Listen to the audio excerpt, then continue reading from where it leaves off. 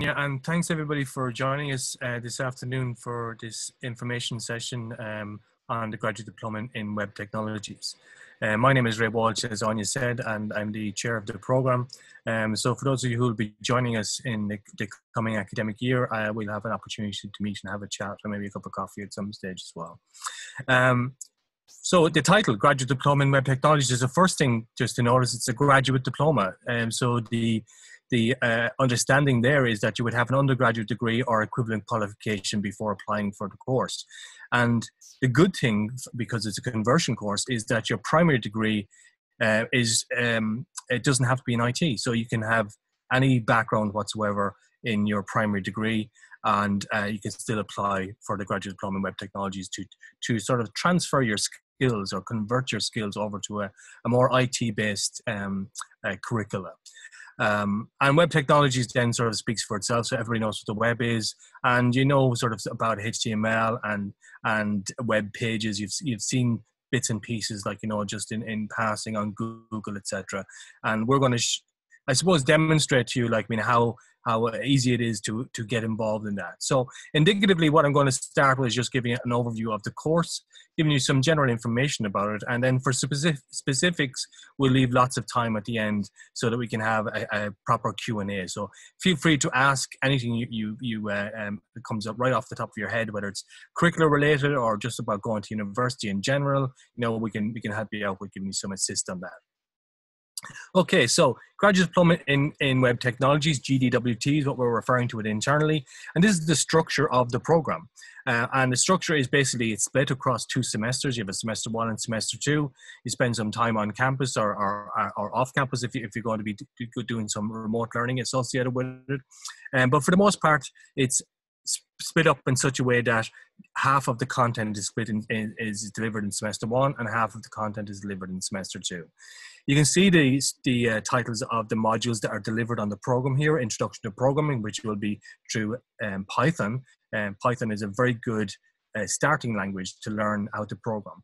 And we assume that you have no knowledge of programming or IT for that matter uh, when you start. We, we start ab initio, uh, which means that we give you all of the information, the background reading about it. We give you demonstrations of how to program. We provide you with all the tools, and you start from zero uh, knowledge and be able to write actual programs that will run um, uh, standalone programs and also through through uh, web interfaces um, by the end of the course.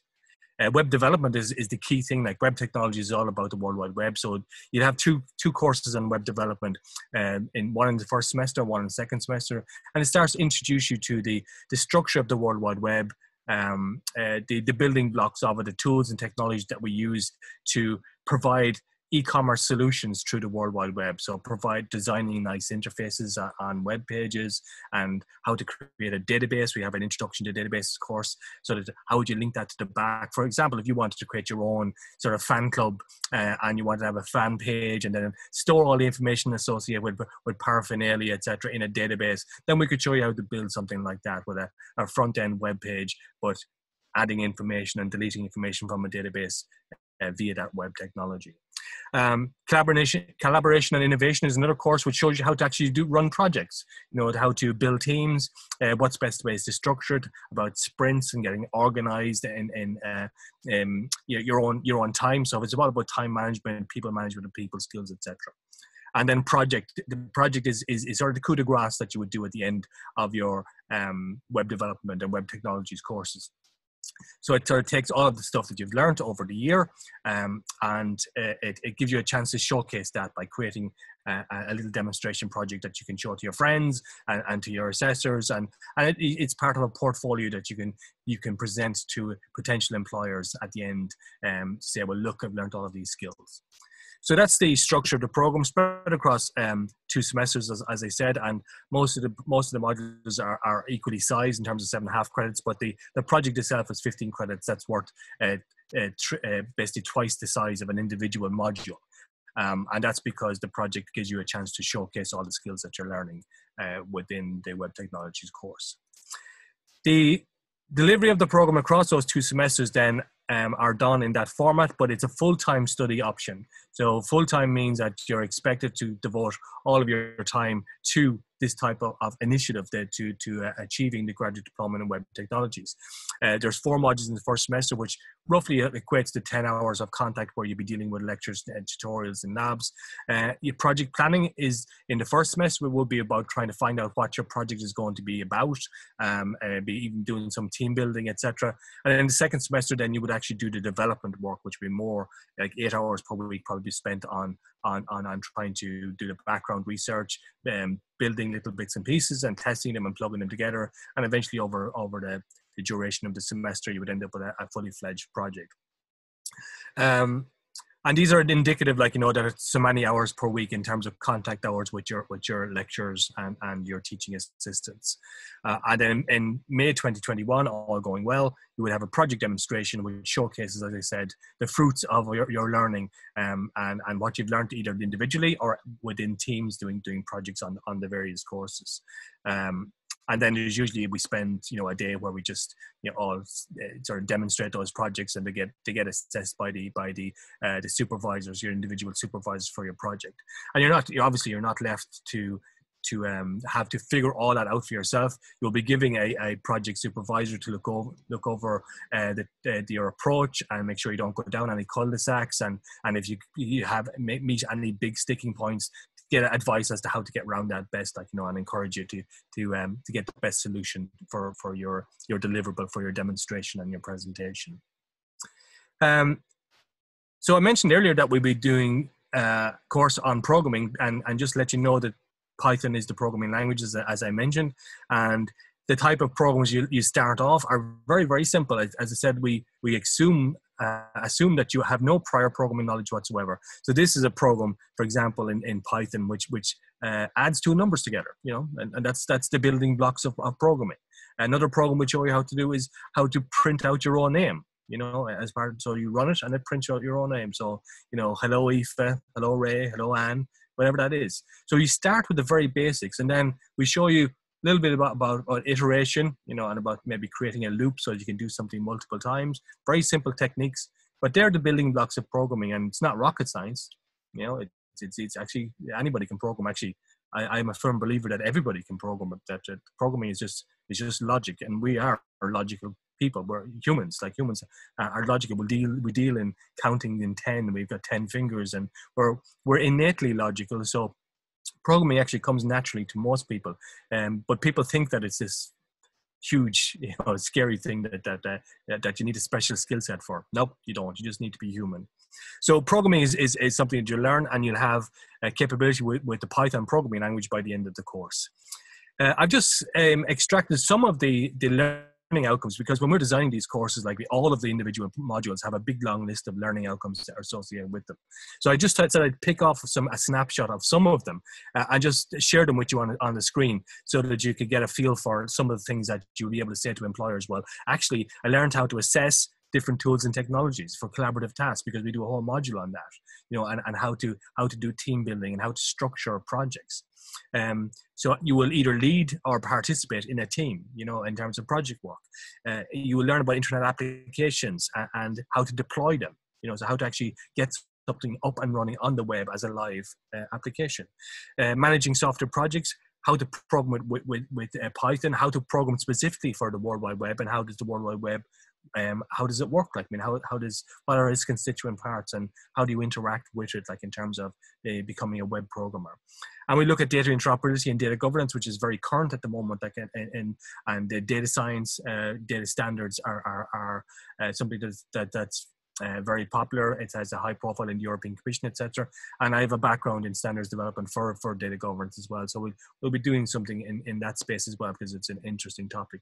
And we look at the e economic impact of ICT standardization in terms of, in general, learn about the industry, uh, about uh, what makes the ICT industry really tick and, and how we're able to create these platforms and solutions for sharing data all over the world and they all seem to work and it doesn't matter what your background is and what your culture is, you know, what your language is, etc. They all seem to work. And how does that? How do we manage that? Well, actually, standardization um, and ICT standards are, is a big part of that. So we get to do a, a course around data standards as well. Um, okay, so you, we, everybody gets a copy of this, uh, so um, you can just read through that at your leisure afterwards. Uh, it's an NFQ level nine, so a National Framework Qualification level nine course, which means that you, with if you have no prior IT experience uh, coming into this, then it's a level nine qualification to achieve the outcomes of this course.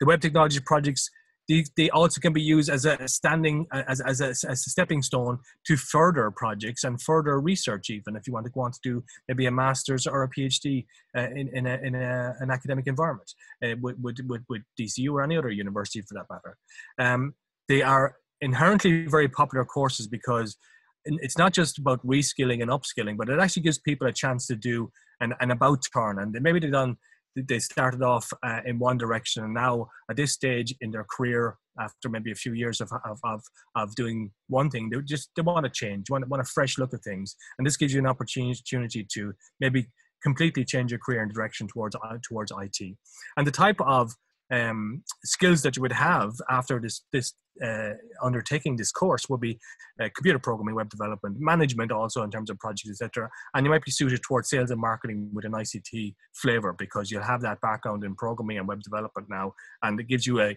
a more rounded knowledge and a better holistic view of what the ICT uh, scenarios are in in in, uh, in industry and uh, and definitely from an academic perspective.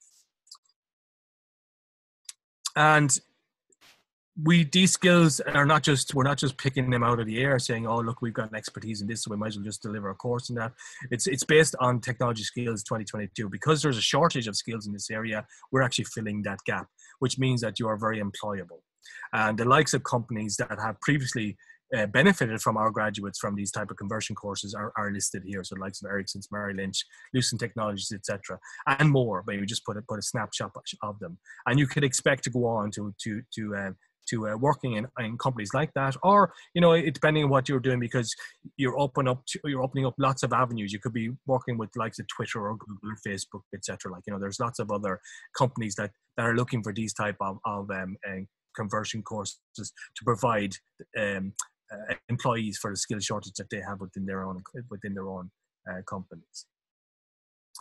Uh, and who should apply then is the last thing. Like, I mean, why uh, you know, if you're trying to make up your mind as well, maybe I'm not suited for this course. Well, actually, for the most part, for, the ones I've been reviewing so far, the applications I've been reviewing so far, like, there's a lot of people are, are, are very suited to this. They have a undergraduate degrees in business or in law or in languages or in health or science, and they want to do a change so that they're gone more towards a computing or an ICT flavor um, for their for their career.